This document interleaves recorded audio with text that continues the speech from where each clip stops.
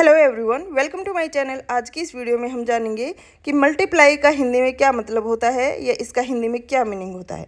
तो मल्टीप्लाई का हिंदी अर्थ है गुणा गुणा करना, बढ़ाना, जर्ब देना, संतान बढ़ाना, वंश वृद्धि करना। यानी to increase a number by the number of times example the teacher taught the children how to add subtract multiply and divide teacher का मतलब है शिक्षक। तो शिक्षक ने बच्चों को ऐड यानी जोड़ना सब्सट्रैक्ट यानी घटाना मल्टीप्लाई यानी गुणा और डिवाइड यानी भाग करना सिखाया।